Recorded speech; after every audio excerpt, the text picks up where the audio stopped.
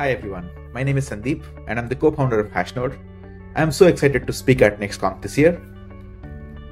We have been using Vercel for more than two years now, and we have been super early adopters of their platform-specific features. In this talk, I'm going to talk about how exactly we use Vercel to scale past 10,000 plus custom domains at Hashnode.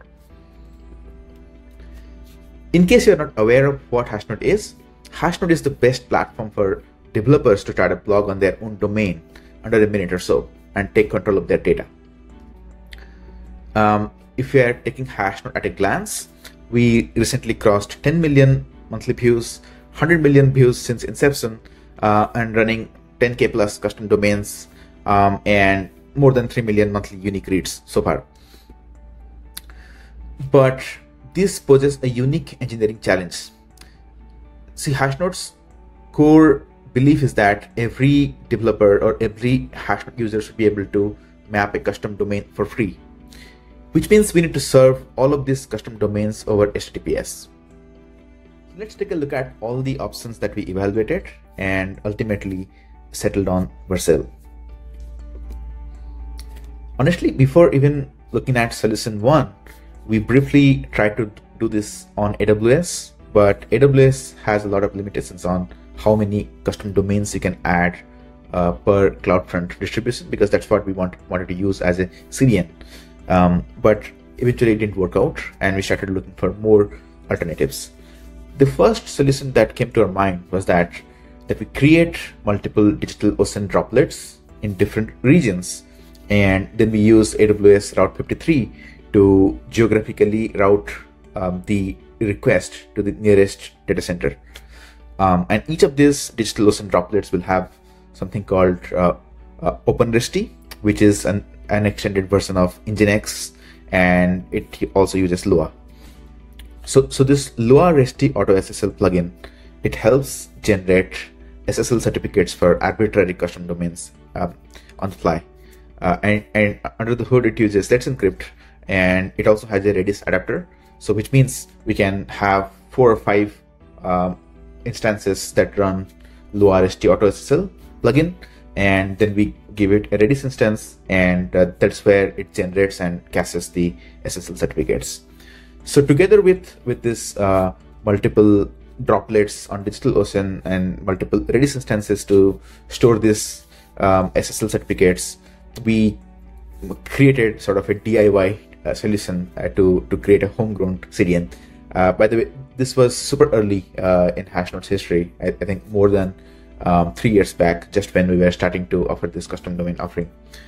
Um, so this worked out well, um, but it uh, it had a lot of uh, you know uh, maintenance work, right? We had to since we own the infrastructure, we have to maintain it, um, and we also need to worry about a lot of things like DDoS attacks um, and performance uh, adding more edge nodes so that we can have better performance and more uh, and, and, better TTFB value across the world. Um, and we also saw a lot of random failures which were hard to debug, and uh, that would take a lot of our time. And eventually, we started looking for a different alternative, and we were not really 100% happy with how uh, Lua Auto SSL was working. Um, so after that, we started um, evaluating Caddy. Uh, still a big fan of Caddy, and uh, the best part of Caddy is that it automatically supports HTTPS out of the box. And if you can give it any any arbitrary custom domain, and uh, as long as the configuration, the, the DNS configuration is right, uh, it can generate uh, SSL certificates using Let's Encrypt. And another point that is worth mentioning is that Caddy supports something called flip mode, which means if you can create multiple caddy instances and somehow make them use the same underlying storage layer, it can issue SSL certificates and you can manage them among all of these uh, nodes automatically without you having to do anything yourself. So this also worked really well and we in fact ran this whole caddy based setup for more than I think a year. Um, but again, we have always been thinking that we don't want to manage anything that is not core to our business because we want to spend a lot of time solving our core business problems and not worry about SSL certificates, for example. So, uh, and we also saw a lot of random failures at some points, which were again taking a lot of our time and resources, and we wanted to find a better alternative. Now enter Vercel. Once we realized that Vercel offers an API based solution that lets you manage custom domains, we instantly bit the bullet. It was a no brainer for us. After all, we didn't want to manage anything, so we could probably outsource everything to Vercel and focus on, on our core parts of the business. So the way it works is that Vercel makes it really easy to manage custom domains in three simple steps.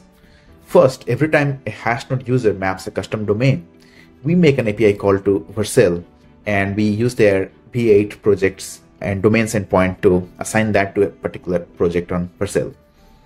And we then ask our users to add a CNAME record on their DNS which basically points to Vercel's Anycast IP.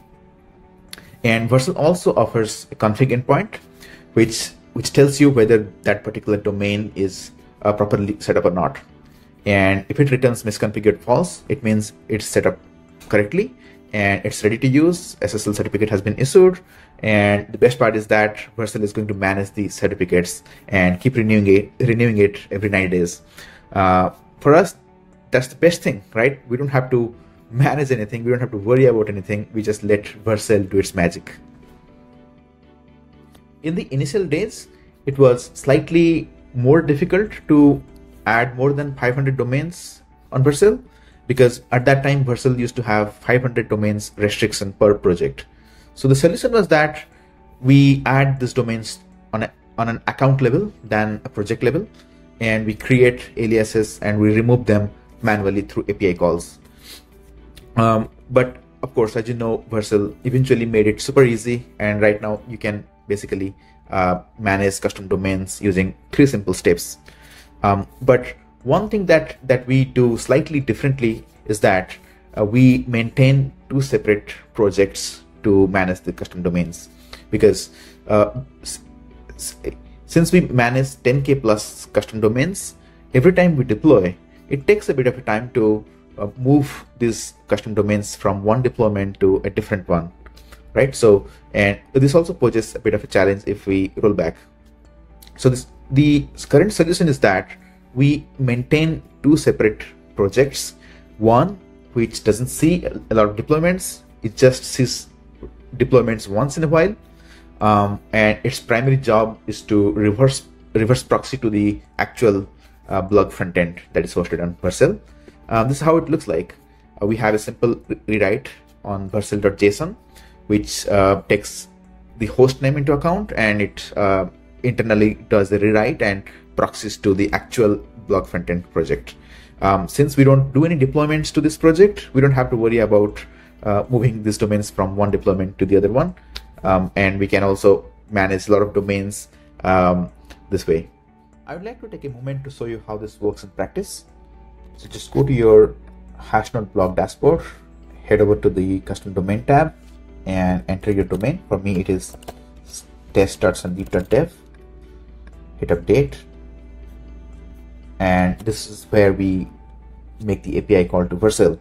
And I'll just go ahead and update my DNS settings. So I'll add a new record and I'll say that, okay, CNAME is test and the value is hashnode.network which again resolves to Vercel. I'll be sure to turn this off and I'll save it and I'll go back to Vercel and it's done. As you can see, it's live. So one of the core beliefs at Hashnode is that we don't want to manage anything that is not core to our business. So by using Vercel's domain API, we outsource the entire domain management to Vercel. We let them upkeep the burden. We let them focus on uh, performance, uh, DDoS protection, and so many other things that we don't want to do. And this way we can reclaim our time and we can use that to make Hashnode a better plugin platform. So yeah, we're, we're getting a lot of value out of Vercel and I encourage anyone who wants to start a platform business to look at Vercel's domain management APIs. Um, we constantly write about how we manage our infrastructure at our engineering blog, uh, engineering.hashnode.com. Uh, feel free to read it. And if you have any other questions regarding Hashnode in general or any other uh, infrastructure questions, feel free to reach out to us. Thank you so much